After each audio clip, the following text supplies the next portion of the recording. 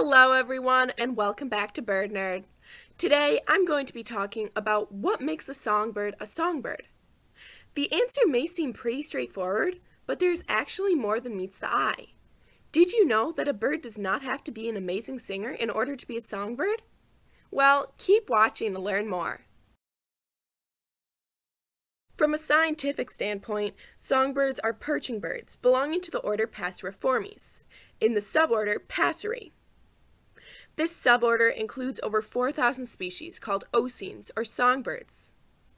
With such range in size, plumage, and musical ability, something all birds in the suborder have in common is extreme control of a vocal organ called the syrinx.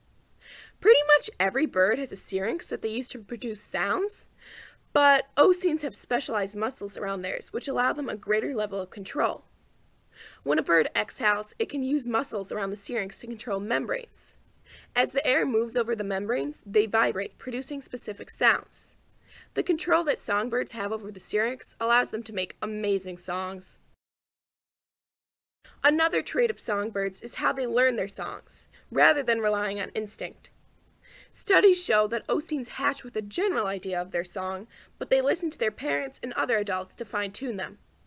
The ability to learn songs sets oscines apart from other passerines, as they can continue to add to their list of songs, while the other passerines only have a couple of vocalizations.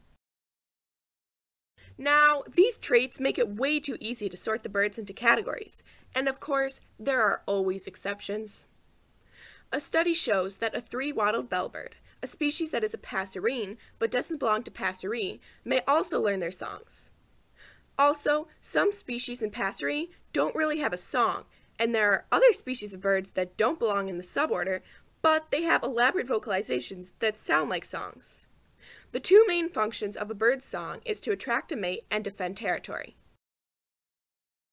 So, to try and slim down all this information, not all songbirds have great vocals or even sing, and some non-songbirds will sing.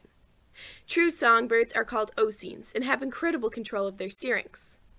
Oscines also learn their songs, but this trait may not be exclusive only to them. Well, I hope that was not too confusing. If you enjoyed learning about songbirds as much as I did, please don't forget to leave a thumbs up, subscribe, and hit the notification bell so you know when I release a new video. Thanks for watching, and I will see you next time.